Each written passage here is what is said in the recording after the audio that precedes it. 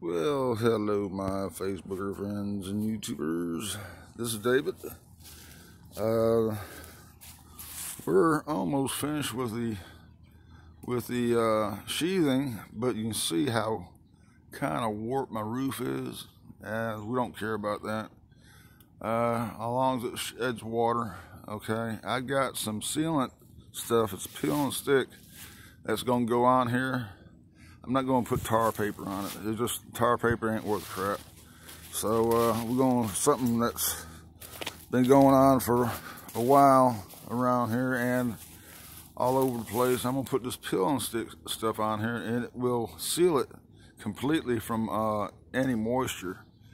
Uh, I got three more pieces going. I don't know if I'm gonna be able to get all three pieces on here. I'm kind of short. I kind of cut one piece a bit short this first piece right here. Uh, thinking uh, uh, 84 was the the cut. It was actually 88, and I cut it, you know, four inches too short, so I had to cut it all the way back to this same here. Uh, so uh, it's supposed to go on this one right here, okay?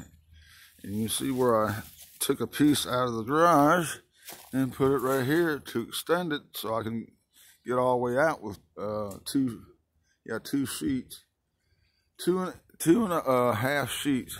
So kind of messed me up on my uh, cuts. You make mistakes, you do. Uh, I try not make them, but everybody does make mistakes now. This thing is about two inches actually out of square. You see where this is right here, it's overhang where it's not overhang over there. Well, I knew that was going to happen, so I really didn't care. I'm going to take a chalk line, go from that end over there to this end over here, and take my little saw and cut it right on off. So, uh, same thing over here on the other side.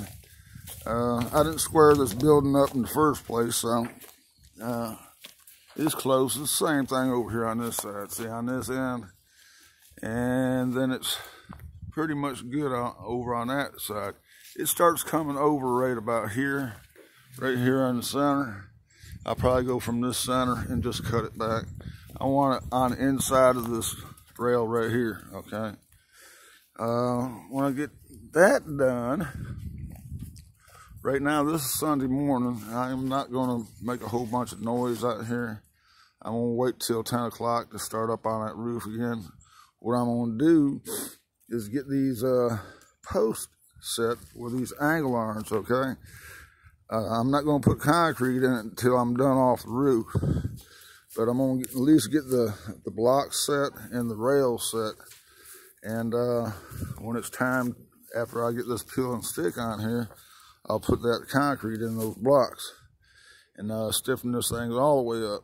It's kind of shaky up there up on top of the roof without braces, but it'll hold. So uh, right now, all I want to do is get the rest of the sheet, the sheathing on, so I can do that.